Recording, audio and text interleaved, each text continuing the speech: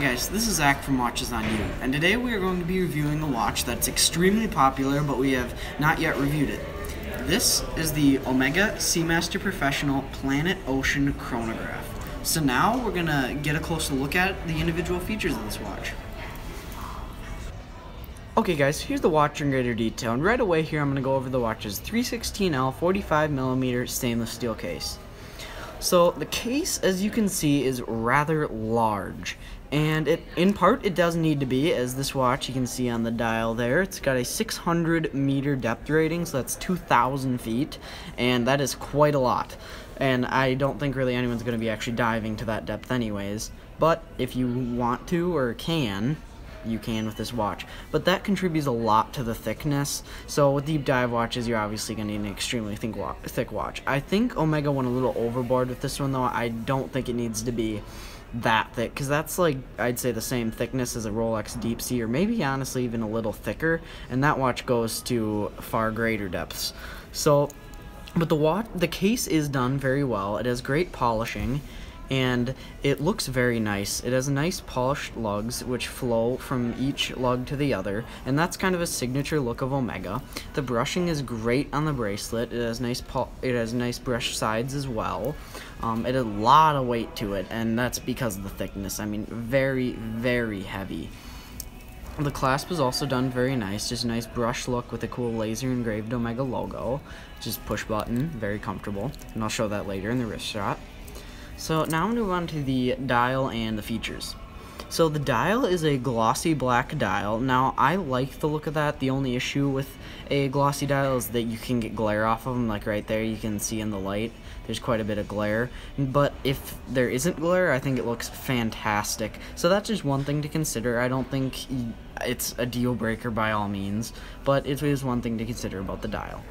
Now the bezel is a ceramic bezel in well it is a ceramic bezel and it has a lume in the ceramic too which is a very cool feature which I haven't really seen on many watches one being the Tudor Pelagos but I can't really think of any others besides that.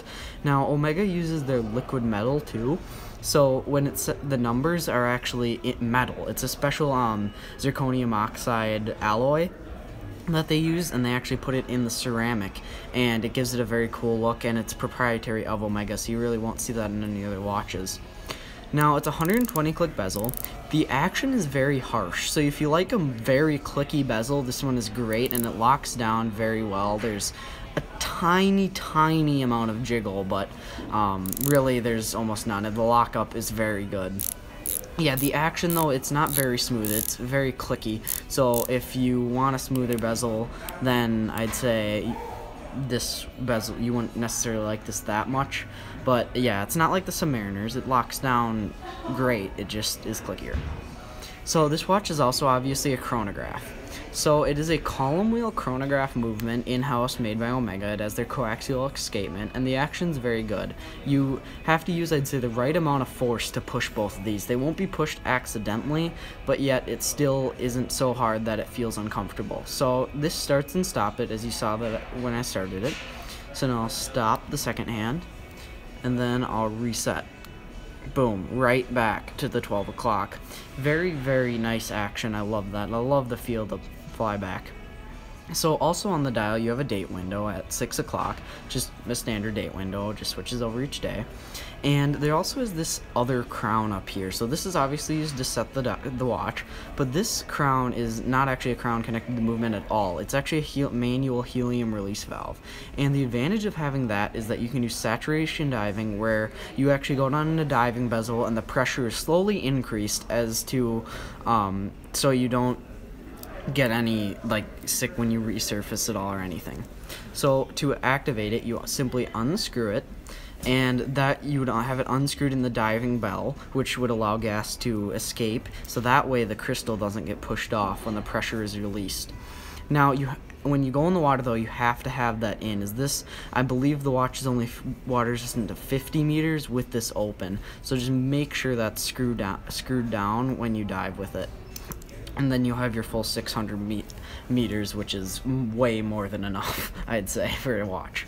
So now I'll go to a wrist shot. So this watch as you saw, and as I've said, is very large. This would definitely not be a watch to wear to work, I'd say. Unless you're a diver, actually, then it'd be a great watch to wear to work. But I'd say if you're working in just like a normal, like kind of high rise building business, this would not be the watch. It's very thick, very brash. Um, it wouldn't, I don't think it, it would not look good with a suit, but like on the weekends, it's absolutely perfect. It's got a nice 60 hour power reserve, so that would basically lasts. You won't have to wind it that much when you're not wearing it, which is good, as this is really more of a, just a weekend watch. And it is automatic too, so that's also nice to have.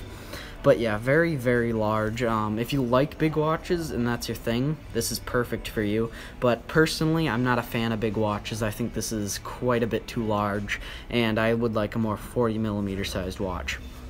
The bracelet, though, is very comfortable. I haven't felt any hair pinching. Um, very, very nice brushing. It really smooths out the edges and you don't really get scratched at all by anything on it. The clasp is also very, very well made.